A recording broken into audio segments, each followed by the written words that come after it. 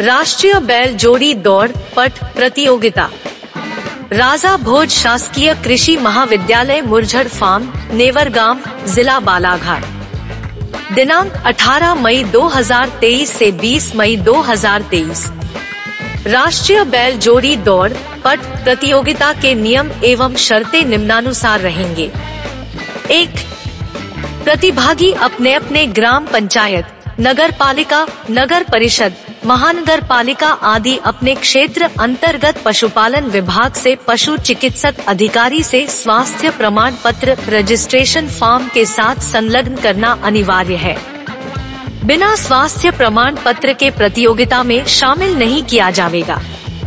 Note प्रतियोगिता में शामिल होने वाले पशुओं को लंपी संबंधी बीमारी का टीका लगा रहना अति आवश्यक है, जिसका प्रमाण पत्र संलग्न करना होगा। दो प्रतियोगिता में शामिल होने वाले पशु मालिक को पशु का पट स्थल पर उपस्थित पशु विभाग से स्वास्थ्य प्रमाण पत्र लेना होगा।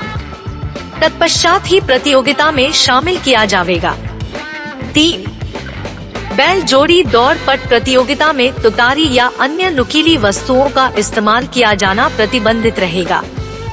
यदि ऐसा पाया जाता है तो प्रतिभागी को प्रतियोगिता से निरस्त कर दिया जाएगा चार प्रतियोगिता में शामिल होने वाले पशुओं पर किसी प्रकार की क्रूरता या अन्य हिंसक कार्य करने हेतु पट समिति इस संबंध में इजाज़त नहीं देगी। जैसे करंट लगाना हाइडोज आदि का उपयोग करना वर्जित है। ऐसा पाए जाने पर प्रतिभागी को प्रतियोगिता से निरस्त कर दिया जाएगा। पाँच, तीन बैल का दो जोड़ा बनाकर दौड़ नहीं करवाई जाएगी। छह प्रत्येक जोड़ी अपना सिग्नल अपनी ही दान से आकर गिराना चाहिए। अगर वह जोड़ी दूसरी दान में जाकर अपनी दान में आकर सिग्नल गिराती है तो वह फाउल मानी जाएगी यह नियम प्रथम चक्र और द्वितीय चक्र दोनों के लिए यथावत रहेंगे।